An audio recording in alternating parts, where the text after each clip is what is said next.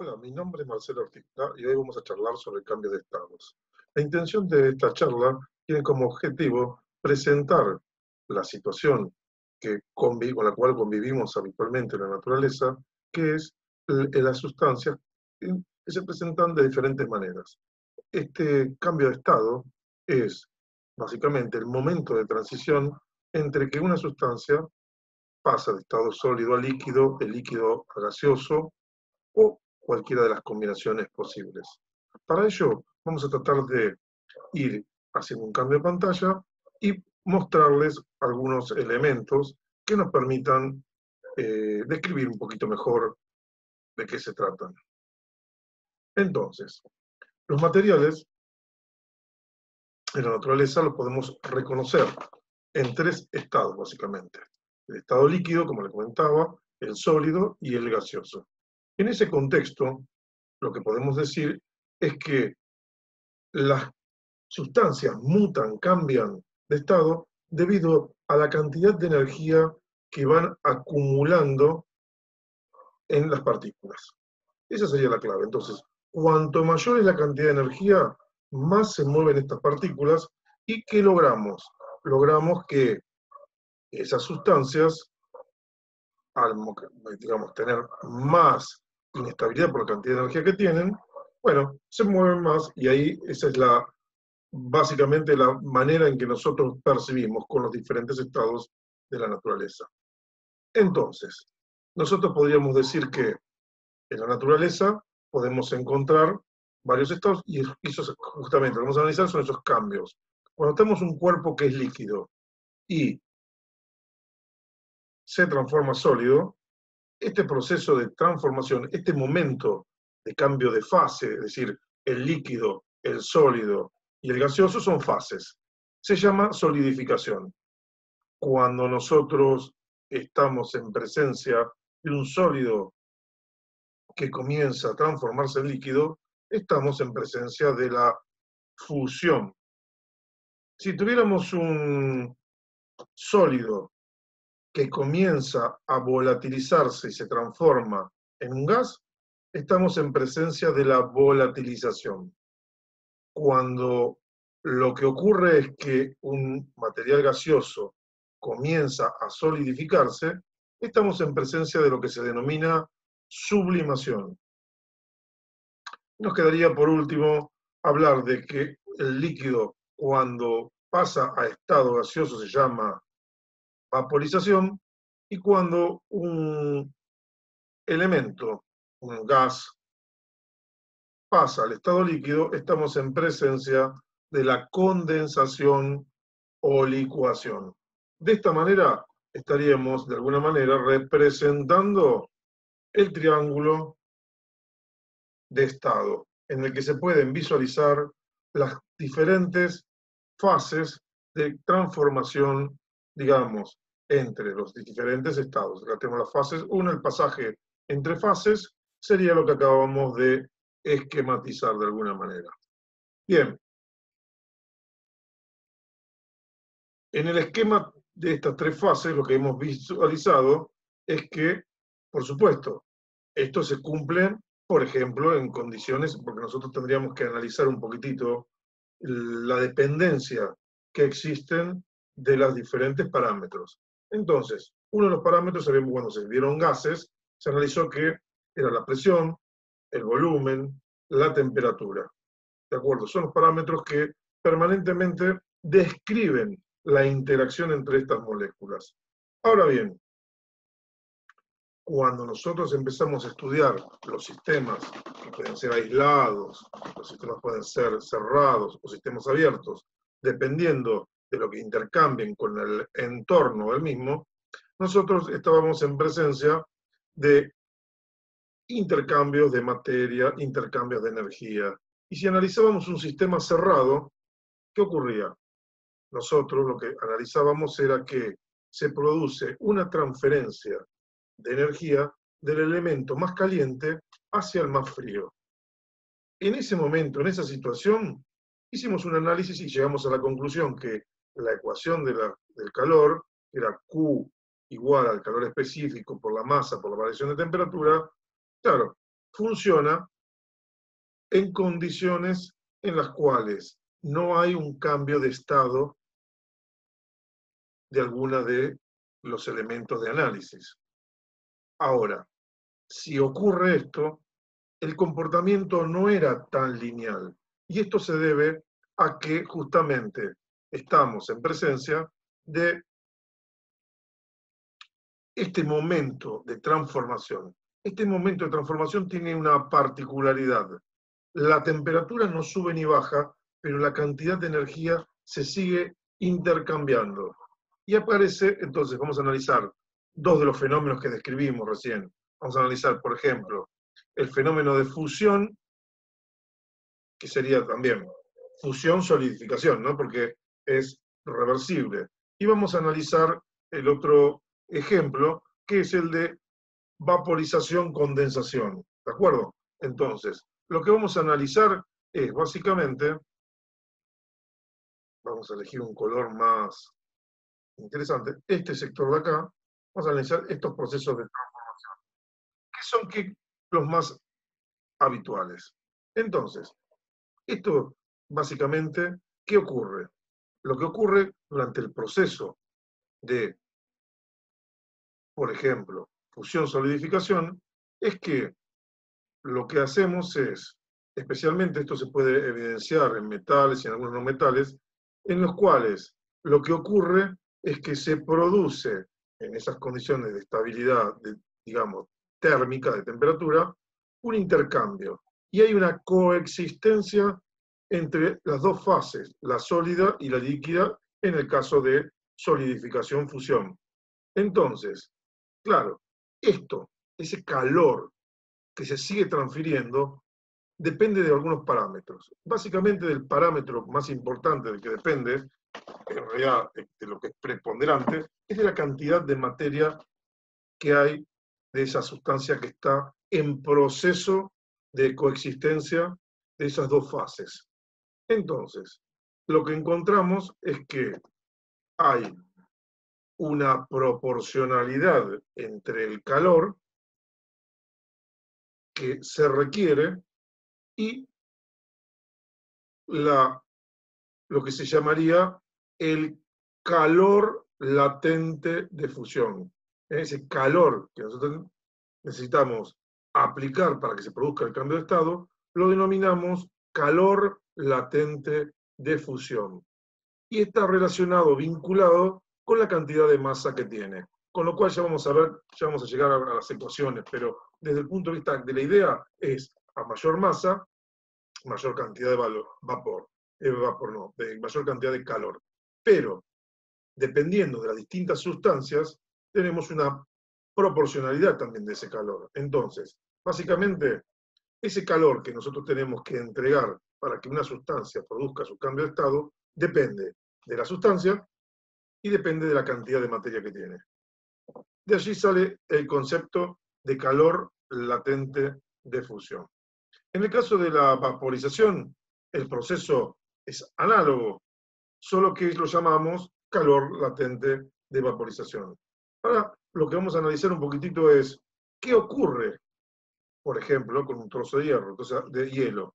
El agua, vamos a usar que es el, ejemplo más paradigmático. Lo que voy a hacer, ¿saben qué? Es borrar la pizarra y dirigirme hacia un gráfico que tendríamos por acá. Esto vamos a igualmente verlo un poquitito mejor, pero acá se ve bien ¿eh? el proceso en el que describimos la transformación ¿eh? en función de la temperatura, en función de la temperatura y en función de la cantidad de calor que debemos ir agregando, ¿eh? vamos a representar una pequeña curva que nos muestra el comportamiento del material. Una cosa interesante a tener en cuenta es la siguiente. En esta curva que les estoy mostrando, lo que hay es una... Fíjense, hay momentos. Este momento que tenemos por acá, el cuerpo está sólido, el hielo, por acá tendríamos el agua líquida y por acá tendríamos el vapor. Estas curvas tienen una ecuación de transformación, el valor es Q por calor específico, el Q es igual a calor específico, multiplicado por la cantidad de materia, multiplicado por la variación de temperatura. Básicamente, esta es una ecuación de una recta, ¿eh? y igual a por x. Entonces, calor sería la variable independiente, ¿eh? con lo cual nos quedaría una proporcionalidad que de alguna manera el calor específico me estaría describiendo en esta pendiente, que no necesariamente son iguales. Entonces, habría una proporcionalidad en la cual esta es la variable dependiente, tendríamos que ayornar y acomodar un poquitito la ecuación, ¿no? Pero básicamente quedaría nuestra función de temperatura, de temperatura, igual a calor sobre calor específico, básicamente. O sea, mayor calor, ¿eh? tendríamos una constante de proporcionalidad. Básicamente, es una proporcionalidad que estamos describiendo y se vería en esta gráfica. Pero ¿qué ocurre? En los momentos en los cuales se produce esta transformación, este cambio de estado, la temperatura se mantiene constante, hay coexistencia de dos fases, en la primera sólido-líquido y en la segunda líquido-gas, y hay una entrega de calor que depende directamente de la sustancia y de la cantidad de material. Bueno, vamos a borrar nuevamente nuestra pizarra, vamos a avanzar un poquitito más y vamos a tratar de entender este fenómeno que yo les estoy mostrando aquí en un ejemplo con las cantidades de calor. Para ello yo lo que voy a hacer es salir por un momento de mi gráfica y vamos a trabajar directamente y mostrarles en una simulación qué es lo que estaría ocurriendo. Entonces tenemos un sólido, en nuestro caso es agua, acá tendríamos la ecuación de la calorimetría, ¿eh? calor igual a masa por calor específico por delta T, y lo que vamos a hacer es prender el fuego, encenderlo y comenzar a calentar. Fíjense que hay coexistencia de sólidos y, gras y líquidos, y acá el líquido comienza a aumentar su temperatura, fíjense cómo vamos yendo a una muy buena velocidad, nos vamos a detener un momentito por acá, tendríamos, fíjense, eh, el proceso líquido, fíjense que las pendientes son diferentes, ¿eh? esta pendiente es, yo les diría, prácticamente 45 grados, ¿no? ¿Eh? Si es 45 grados, nuestro coeficiente, nuestra constante proporcionalidad, ¿cuál sería? 1. Entonces, fíjense que vamos a dar un poquito más de calor, ahí se produce el intercambio de calor, eh, en el cual tenemos coexistencia de líquidos y de gases, y finalmente seguimos, seguimos, y bueno, podríamos seguir subiendo nuestra temperatura. Este ejemplo que nosotros le proponemos aquí se cumple en condiciones normales de presión, o sea, decir presión una atmósfera. Ahora, si yo juego y varío la proporción que hay entre las diferentes presiones atmosféricas, la cosa se pondría un poquitito más picante, en el sentido de que este diagrama no es tan sencillo, sino que eh, lo podríamos eh, analizar en función de las presiones y ver cómo se comporta, porque descubriríamos que bajo ciertas condiciones existe un punto en el que coexisten sólido, líquido y gases. Vamos a jugar un poquitito con esta simulación eh, que tenemos en un video. Vamos a darle arranque, si logro... Ahí estaríamos. Entonces veríamos que tenemos la presión atmosférica, la temperatura, y en función de eso, lo que vamos a hacer en nuestro diagrama, que llamamos diagrama de fase, es ver el comportamiento de los distintos sectores, donde tenemos con diferentes presiones el estado sólido, el estado líquido y el estado gaseoso. Entonces, estas serían los que llamamos límites de fase. Entonces, fíjense que, fíjense acá, tenemos 100 grados centígrados y una atmósfera. Intercambio de líquidos y gases. Ahora, si disminuimos en esta línea, ¿qué estaría ocurriendo? Nosotros llegaríamos a un punto en el que coexisten 0 grados el estado sólido y el estado líquido. No es ni más ni menos que lo que le mostramos y vimos en nuestro otro diagrama, en el que teníamos las temperaturas en función de la cantidad de calor. Este sería el punto de congelación, en función normal, y el que habíamos visto antes, el punto de fusión. Si bajamos la presión, y la bajamos la presión, ¿qué va a ocurrir? Lo que va a ocurrir es que vamos a tener un punto en el que coexisten los tres estados. Este punto se denomina punto triple y tiene una temperatura prácticamente 0 grados y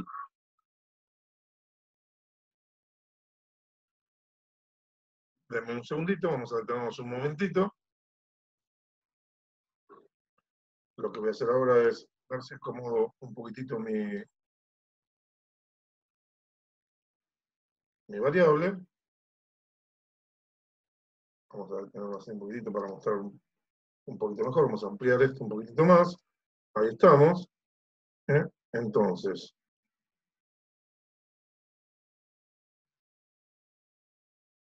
Exactamente. Entonces, fíjense que estaríamos de nuevo en la posición de 0 grados, una atmósfera. Eh, vamos a avanzar un poquitito más. Y ahora vamos a ver nuestro proceso de transformación. Vamos a hacer el recorrido, básicamente, que estuvimos viendo en nuestro otro diagrama, que es mucho más dinámico. Entonces, fíjense que lo que hacemos es tener nuestro Exactamente, tenemos nuestro proceso de transformación de ebullición. Ahora, si continuamos en estas condiciones, aumentando la temperatura, lo que tenemos es gases. Prácticamente nuestro sector son todos gases. ¿ves? Esta parte de acá es gases. Entonces, por aquí no puede existir en estado líquido, solo puede existir en estado sólido. Y en este proceso tendríamos lo que se llama la sublimación, que sería el pasaje de gas a sólido, ¿de acuerdo? Se pasaría en forma directa.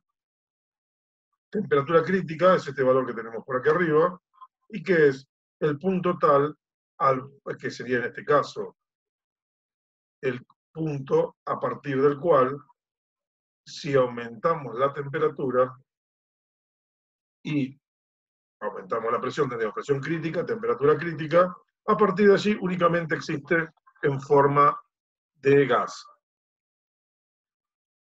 Entonces, para valores mayores, solamente estado gaseoso. Luego, luego a cero grados estábamos posicionados, y una atmósfera, y tendríamos este otro punto, que era el de 100 grados. Estábamos deteniendo un poquitito más, esta era nuestra curva, ¿eh? acá lo vemos como una línea, y acá lo que estamos estudiando es la relación que hay entre la cantidad de calor y las temperaturas, ¿de acuerdo? Entonces, de este proceso, ¿qué nos queda en concreto? Lo que nos queda es que vamos a tener que estudiar estos momentos de transformación y determinar la cantidad de calor en nuestras ecuaciones que vamos a tener que agregar para qué? Para poder determinar el intercambio de calor cuando hay cambio, hay un cambio de estado en una de las sustancias. Por ello, lo que vamos a hacer ahora es, vamos a borrar la pizarra nuevamente, vamos a minimizar por acá, esto lo vamos a dejar para después, y lo que tendríamos que hacer es venir sobre nuestro diagrama, sobre nuestro texto teórico, para mostrar qué estaría ocurriendo cuando realizamos nuestro balance térmico y transferimos de una sustancia a la otra, donde se producen cambios de estado. En este momento, lo que vamos a tener que hacer es considerar en el balance térmico la cantidad de calor proveniente de ese cambio de fase. ¿eh? Y entonces deberemos sumar a las ecuaciones como les estamos mostrando en este caso, fíjense, el calor del agua, era este término, pero le tendríamos que agregar en el proceso de transformación los elementos correspondientes a qué cosa? Al cambio de estado. Entonces tendríamos eh, estos dos elementos. Por acá tenemos en este caso el plomo, el calor específico del agua y el agua. Y en lugar de sumar dos ecuaciones como hacíamos anteriormente para llegar a nuestro punto de equilibrio, tendremos que hacerlo con tres ecuaciones. La de la sustancia que se está enfriando, por ejemplo el plomo en nuestro caso que estamos mostrando, la del agua en un cierto estado y el costo que implica el cambio de estado. ¿De acuerdo? En este caso, ¿qué ocurre? Si la temperatura, eh, en nuestro caso, es tal que implica un pasaje de sólido al líquido, implica que tenemos que usar un cierto valor, el calor latente de fusión. Si en esta transformación lo que tenemos es un pasaje de estado líquido a gaseoso, lo que tendríamos que tener es lo que denominamos calor latente de vaporización. Dicho esto, lo que nos quedaría sería detenernos un momentito en lo que sería nuestro marco teórico, ya estaríamos básicamente eh, desarrollando todos estos conceptos, así que básicamente nos quedaría hablar y conversar un poquitito sobre cómo se propaga el calor. Y los medios que utiliza para propagarse, para difundirse, son básicamente tres. Tendríamos la propagación de calor por conducción, por convección y por radiación. Y en realidad lo interesante de todo esto es que, si se fijan, vamos a ver si lo tengo por acá, acá tendríamos un primer plano en el cual podemos ver cómo se genera la radiación, en nuestro caso, desde el fuego se produce la radiación. La convección sería el movimiento de las partículas, ¿eh? donde las más calientes están en la parte de arriba ¿eh? y la, parte más baja estarían lo más frío, digamos que se va calentando y entonces se produce esta rotación. Y después lo que sería la conducción a través de un cuerpo sólido. Bien, eh, dicho esto, vamos a hacer un... Vamos a hacer, ahí achicamos un poquitito. Podríamos ver cómo se propaga y de qué depende. La conducción siempre eh, sería dentro de una sustancia de la superficie más caliente hacia la superficie más fría. Siempre se da ese proceso. Luego, eh, tendríamos que nuestra ecuación que describe la energía transferida a través de una pared, fíjense que depende, por supuesto hay una constante de proporcionalidad, pero depende de la superficie de exposición, la variación de temperatura que hay entre ambas caras y la separación entre caras. Y por último, tendríamos esto que sería delta tau, ¿eh? que es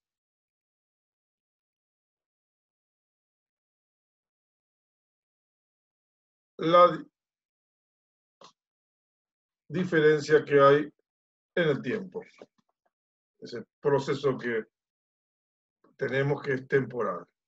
Bien. Con esto creo que tenemos una pequeña aproximación de los procesos.